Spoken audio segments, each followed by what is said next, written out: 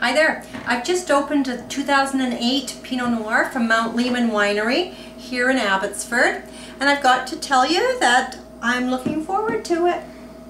Tried it at the winery the other day. Yeah, you know what? This is just really lovely on the nose. It's bright, it's cheery. It's got a lot going on. Everything from that, that, that aroma that I got this afternoon when the rain came on the hot pavement um, to cherries mm, and, and the forest floor. It's fabulous on the nose. I just love it.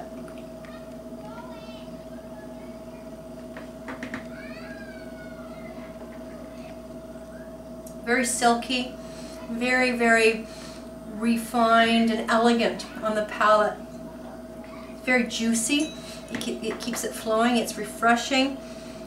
Lots of fruit flavor in there. Bit of smoke. It's, it's just very lovely.